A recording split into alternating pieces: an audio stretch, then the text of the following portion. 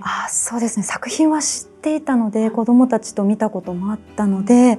素直に嬉しくて、えー、と驚いたっていうのが率直な感想で。えー、どどうしようかなって。でも、えー、子どもたちがきっとママの声のキャラクターが出てきたらきっと喜ぶんじゃないかなってすぐにこうそういう気持ちがあの自分の中でこう芽生えたのでぜひやらせていただこうかなって割とこうこう答えを出すのが早かったです。はい、なんかびっくりしてましたね。え？え？とか言ってママの声？みたいな。緊張はありましたねやっぱり。久しぶりのブースの中に入っての自分がどこまでできるかなっていうそう久々にこうね表現の場にこう立ってどこまでできるかなって思いながらこう声を出していった感じなので。いやでもやっぱりこうね期待以上のものをやっぱりやりたいっていう気持ちはもうあったので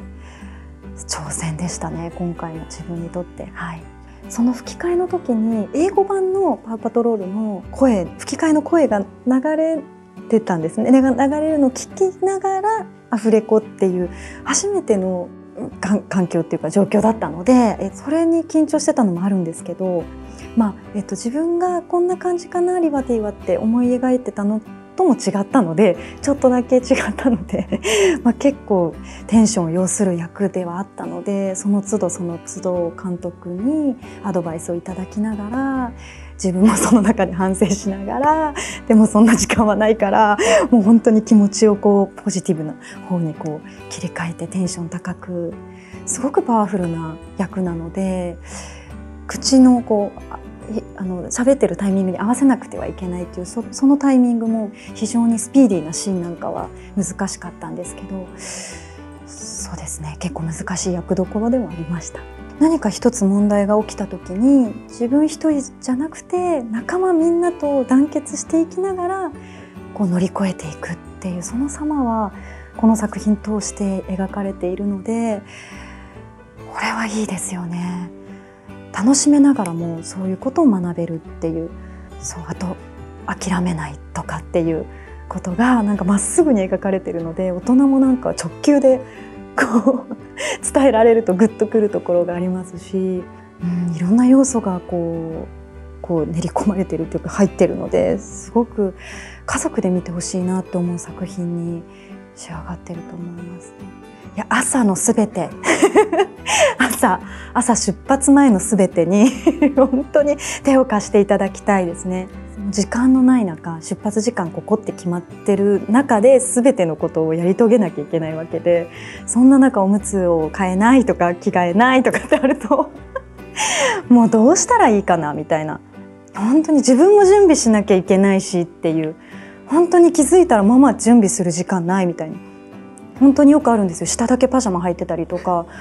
ちょっとだからそういう時も私もなんか焦らないようにして「さあ問題です。ママのどこがおかしいでしょうか」とか言って。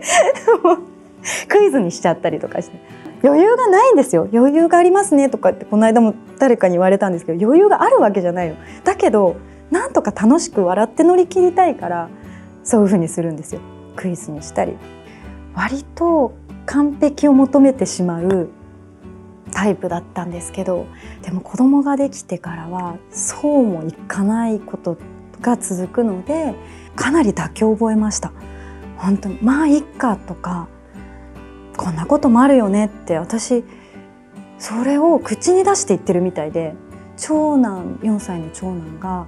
真似するようになってて「まあママこういうこともあるよね」とか言ってこの間言った時に「えっ?」と思ってハッともしたんですけどあこれ私が言ってるんだと思ってだから本当にまあまあまあっていう気持ちでいかないと次に進めないのでなるべくイライラしないようにしてますなんか悪影響いい影響なんて一つもないと思うのでそういうイライラスイッチじゃなくてなんか笑えるスイッチの方に楽しめる方向に変えられたらいいなってお互いにとっていいなっていう。朝例えばそういったことが何かトラブルが起きるとなんかそれを引きずるのも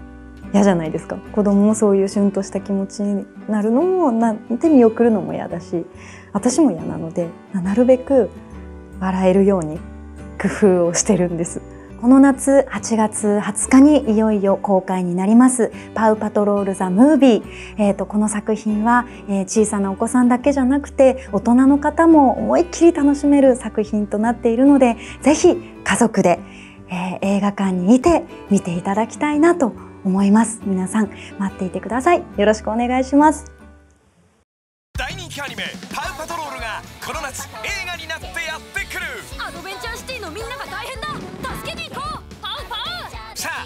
パウパトロールの出動だ。新メンバーも大活躍。みんなが知らないお話だよ。どんなトラブルもパウッと解決。パウパトロールザ・ムービー。助けてなんだ君は？パウパトロールです